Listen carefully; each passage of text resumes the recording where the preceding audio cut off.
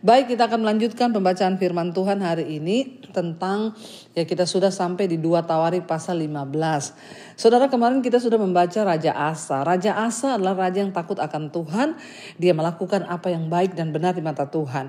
Ketika dia naik menjadi raja atas ya Yehuda, dia langsung menyuruh semua bangsa itu untuk cari Tuhan Bahkan bukan hanya cari Tuhan, ya taati hukum-hukum Tuhan dan dengarkan peringatan-peringatan Tuhan. Saudara, akhirnya apa yang dialami? Kemenangan demi kemenangan.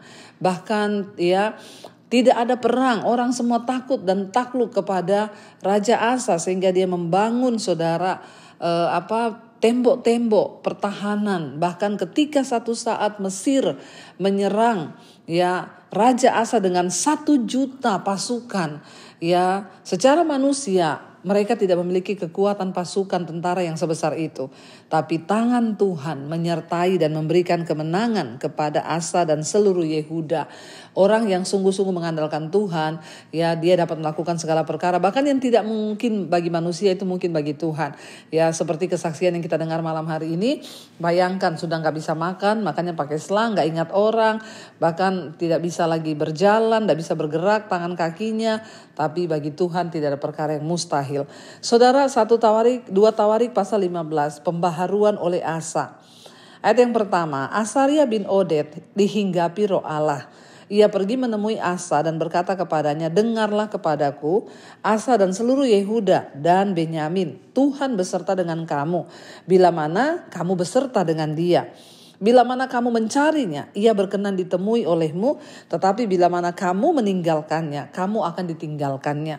Saudara, kita lihat di sini dikatakan bahwa Tuhan itu akan beserta dengan kamu dan dikatakan di sana bahwa ya Tuhan akan mengikuti engkau beserta dengan kamu bila mana kamu mencarinya, dia akan berkenan ditemui. Tetapi bila mana kamu meninggalkannya, maka kamu akan ditinggalkannya. Saudara ya, ini loh ya, ketika Nabi Tuhan berbicara ya seseorang dihinggapi oleh roh Allah yang bernama Asaria bin Odet ya lalu dia pergi menemui Asa dan berkata ya dengarlah ya kepadaku Asa dan seluruh Yehuda ya dan Benyamin Tuhan beserta dengan kamu bila mana kamu beserta dengan dia Ya, dan bila mana kamu mencarinya, maka ia akan berkenan ditemui. Tapi bila mana kamu meninggalkannya, kamu juga akan ditinggalkan oleh Tuhan. Dengan kata lain, coba kita ganti nama kita. Ya, dikatakan ini, dengarkanlah kepadaku. Ya, hai Debbie. Ya Tuhan beserta dengan kamu. Bila mana kamu beserta dengan Tuhan. Bila mana kamu mencari Tuhan. Maka Tuhan akan berkenan ditemui olehmu. Tapi bila mana kamu meninggalkannya. Maka kamu akan ditinggalkannya. Saudara kita percaya bahwa ya Tuhan itu Tuhan yang maha dahsyat, maha kuasa. Dan dia tidak pernah um, salah dalam menentukan ya berkat dalam menentukan apa pun yang di di sudah diberikan bagi anak-anaknya. Jadi ya di sinilah rahasianya. Ketika kita mau mencari Tuhan, maka Tuhan itu menyertai kita. Tapi ketika kita tidak mau mencari Tuhan, maka Dia juga meninggalkan kita. Kuncinya di mana? Ayo cari Tuhan, cari Tuhan. Ya kesaksian malam ini saya nggak angkat telepon. Ya tadinya mau minta saya doain. Saudara, saya selalu berkata, ya, jangan minta-minta didoakan, berdoa sendiri. Dengan kita berdoa sendiri, itu artinya kita mencari Tuhan. Ya, kalau kita minta didoakan pendeta, itu namanya kita mencari siapa? Cari pendeta. Ya, tapi berdoa sendiri cari Tuhan, maka Tuhan akan berkenan ditemui. Ingat malam ini saya mau tegaskan lagi, Cari Tuhan, apa pun masalah Anda hari ini, ayo cari Tuhan. Karena ketika engkau mencari Tuhan, ia berkenan ditemui. Tapi ketika engkau meninggalkannya, dia juga akan meninggalkan engkau. Ayat 3, Lama sekali Israel tanpa Allah yang benar, tanpa ajaran daripada imam, dan tanpa hukum. Wow saudara, ya di zaman pemerintahan raja-raja sebelum Asa, Israel itu tanpa Allah, tanpa ajaran daripada imam dan tanpa hukum. Sebenarnya banyak orang Kristen yang mengaku Kristen pun hidupnya sebenarnya tanpa Allah, tanpa hukum Tuhan dan tanpa ajaran yang benar. Walaupun ngaku Kristen, kalau kita tidak menghormati Tuhan, kita nggak bertobat sungguh-sungguh meninggalkan dosa kita, maka itu artinya kita hidup tanpa Tuhan, tanpa ajaran yang benar dan tanpa hukum. Ya masa ada Kristen mabuk, Kristen judi, Kristen bersinah, Kristen selingkuh, ya kita tidak menghormati Tuhan. Itu artinya kita hidup tanpa Allah, Saudara. Ya, dan hati-hati orang yang hidup tanpa Allah berbahaya.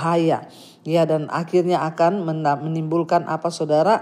hubungan yang ya jauh dari Tuhan. Ayat 4, tetapi dalam kesesakan mereka berbalik kepada Tuhan Allah orang Israel. Mereka mencarinya dan ia berkenan ditemui oleh mereka. Tapi saudara bangsa Israel ini ketika sudah di dalam kesesakan baru ingat Tuhan. Tapi itu pun Tuhan masih ingat, Tuhan masih mau ditemui. Karena asal orang mencari Tuhan, Tuhan itu pasti berkenan ditemui saudara. Sebesar apa pun dosamu, ayo kembali hari ini cari Tuhan. Ada yang bertanya kepada saya, Bu Dewi cari Tuhan itu apa sih Bu? Apa kita cari-cari Tuhan itu di mana? Ketika engkau berdoa, ketika engkau membaca firman, engkau punya kerinduan untuk Tuhan, aku pengen mengenal engkau. Ketika engkau duduk di kaki Tuhan, masuk ke dalam kamar, tutup pintu, engkau berdoa, itu engkau mencari Tuhan. Ayo cari Tuhan, maka ia berkenan ditemui. Ayat 5, pada zaman itu tidak dapat orang pergi dan pulang dengan selamat karena terdapat kekacauan yang besar di antara segenap penduduk daerah-daerah.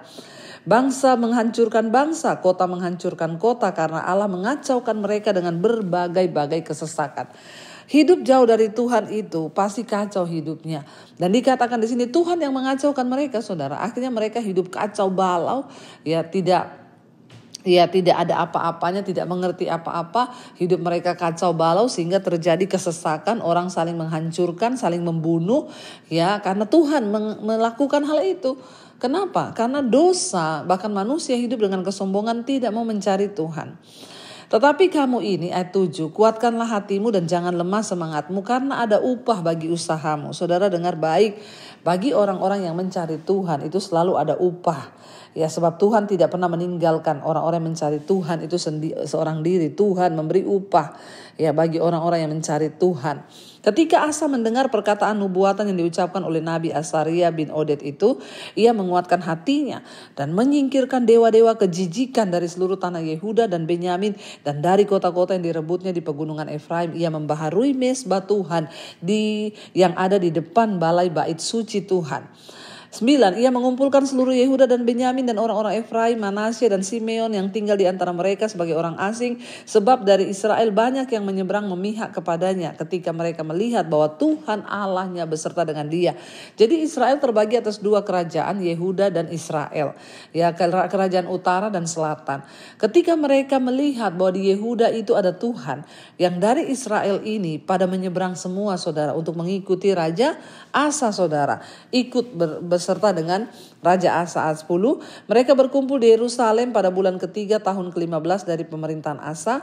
Pada hari itu mereka mempersembahkan kepada Tuhan 700 lembu sapi dan 7000 kambing domba dari jarahan yang mereka bawa pulang.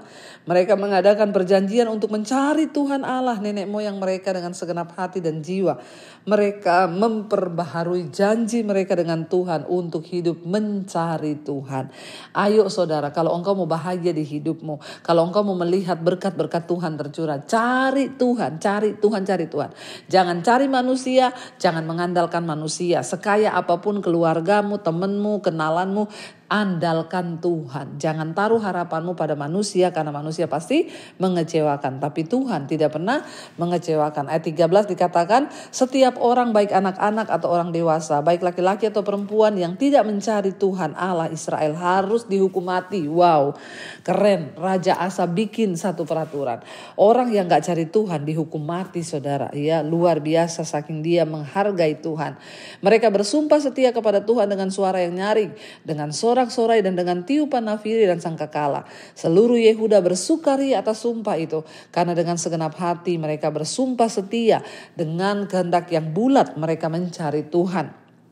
Tuhan berkenan ditemui oleh mereka dan mengaruniakan keamanan kepada mereka di segala penjuru. Bahkan Raja Asa memecat Maaka, neneknya dari pangkat ibu suri. Bayangkan loh, neneknya sendiri dipecat. Kenapa dipecat saudara? Dipecat dari pangkat ibu suri karena neneknya itu membuat patung Asyera yang keji Ya Asa merobohkan patung yang keji itu, menumbuknya sampai halus dan membakarnya di lembah Kidron. Sekalipun bukit-bukit pengorbanan tidak dijauhkan dari Israel, namun hati Asa tulus ikhlas sepanjang umurnya. Ia membawa persembahan-persembahan kudus ayahnya, persembahan-persembahan kudus sendiri ke rumah Allah, yakni emas dan perak serta barang-barang lain. Tidak ada perang sampai pada tahun ke-35 pemerintahan Asa. Kita lihat saudara, luar biasa orang-orang yang mengandalkan Tuhan tidak tidak pernah ditinggalkan sendirian dan Tuhan selalu beserta. Mari kita tundukkan kepala, kita renungkan firman ini, kita berdoa. Terima kasih Bapak, kami mengucap syukur buat hari ini. Tuhan yang sudah menuntun kami lewat firman-Mu, ajar kami mencari Tuhan senantiasa. Takut akan Tuhan, hidup menghormati Tuhan. Biarlah kami memperbaharui janji kami dengan Tuhan hari ini untuk mengandalkan Tuhan. Ampuni kalau selama ini kami mengandalkan manusia, kekuatan kami sendiri. Hari ini kami mau taruh seluruh pengharapan hidup kami hanya kepada Tuhan. Sebab Tuhan saja penguasa tunggal atas hidup kami. Terima kasih Bapak. Hamba menyerahkan seluruh umatmu, jemaatmu, jemaat misbah doa, apa pun yang mereka lakukan, biarlah itu mendatangkan perkenanan Tuhan. Berkati usaha pekerjaan, berkati semua yang dilakukan oleh anak-anakmu Tuhan, buat berhasil. Mereka yang terlilit masalah keuangan, hutang piutang, Tuhan yang ingin menjual aset, Tuhan pertemukan dengan pembeli yang terbaik, beri kekuatan untuk mereka boleh melunasi semua hutang-hutangnya dan bertobat hidup sungguh-sungguh kepada Tuhan. Ajar anak-anakmu hidup menyukakan hati Tuhan. Berkati yang sedang terbaring sakit, sakit, Tuhan sembuhkan dalam nama Tuhan Yesus. Yang rindu terjadi pemulihan dalam keluarga rumah tangga, Tuhan pulihkan.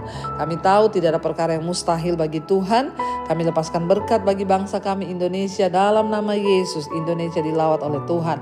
Berkati juga Bapak bangsa-bangsa di lima benua Asia, Afrika, Amerika, Eropa, Australia. Lawatan Tuhan terjadi bagi semua bangsa-bangsa seluruh dunia terjadi pertobatan. Orang-orang bertobat kembali kepada Tuhan. Karena itu saudara, buka hati dan tanganmu saudara, terimalah kiranya berkat rahmat anugerah dari Allah Bapa, cinta kasih Tuhan Yesus Kristus, penyataan Allah Roh Kudus turun atas hidup kita mulai hari ini bahkan sampai kali yang kedua. Tuhan Yesus datang kembali menjemput setiap kita, nama kita tercatat dalam kitab kehidupan. Dalam nama Tuhan Yesus yang percaya diberkati Tuhan, katakan bersama, amin, amin, amin. Shalom dan Tuhan Yesus memberkati saudara.